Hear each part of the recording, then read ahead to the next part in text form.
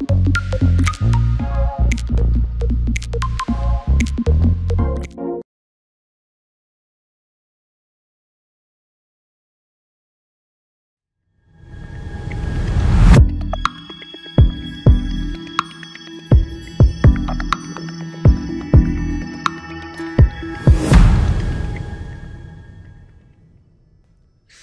Bonjour à tous et bienvenue sur boursicoté.com pour cette nouvelle analyse technique du CAC 40 en point matinal avec une configuration eh bien, qui repart donc sur les mêmes bases que la fin de la semaine dernière. Hein. Vendredi dernier, nous avons connu ici une phase de consolidation qui est venue nous ramener ici sous cette zone des 7320 et puis on a terminé euh, la journée euh, au-dessus.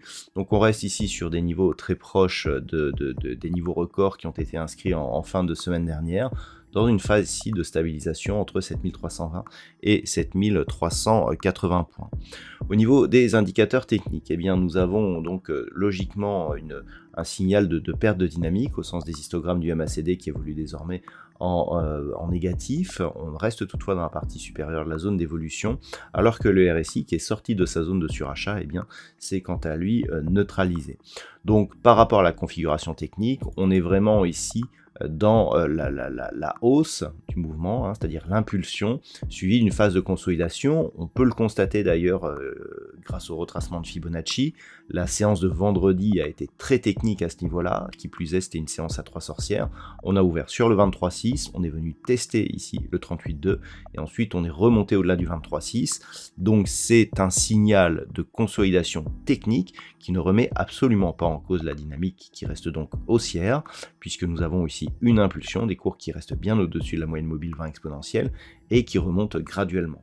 Donc vraiment, pour l'instant, malgré la phase de consolidation de vendredi, il n'y a aucun signal de retournement. Toutefois, il faudrait maintenant, pour valider cette configuration, marquer un nouveau plus significatif et donc s'affranchir de cette zone des 7380 points. Au niveau du contexte, nous avons euh, donc euh, une journée qui risque d'être peu volatile, hein, puisque Wall Street euh, sera fermée pour cause de, deux jours fériés. Malgré tout, nous avons quelques belles variations au niveau des valeurs. Hein. Nous avons par exemple Stellantis qui gagne 1,54%. Air Liquide est à plus 1,37. Derrière, nous avons Eurofin Scientifique, Veolia Environnement ou ArcelorMittal. Donc on est pas mal orienté sur le secteur industriel hein, au niveau des, plus fortes hausses, alors qu'au niveau des plus fortes baisses, eh on trouve Airbus hein, qui perd 1,46%, Safran moins 1,11%, et puis derrière nous avons le luxe hein, qui perd un peu moins de 1% avec Hermès, Kering, et puis nous avons d'autres valeurs comme Bouygues ou euh, Legrand. Donc on le voit un secteur du luxe qui est plutôt à la traîne, ce qui risque de plomber euh, l'indice sur euh, les, les cotations du jour.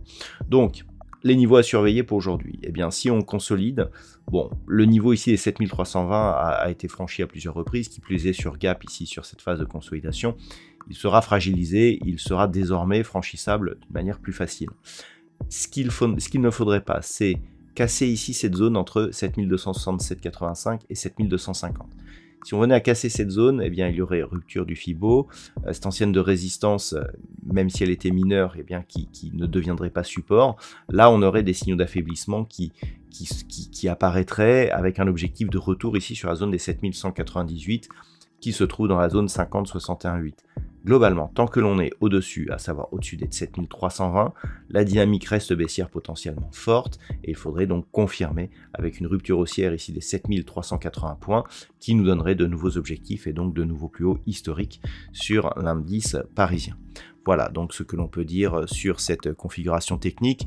D'un point de vue macroéconomique, ben, bien entendu, il ne va pas se passer grand-chose. Hein. donc c'est férié aujourd'hui au Canada, au Brésil et aux États-Unis.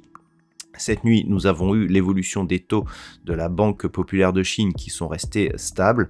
Il n'y aura pas de statistiques majeures aujourd'hui. Je vous souhaite donc une très bonne séance. On se retrouve dès ce soir pour toutes les autres analyses techniques du site boursicoté.com.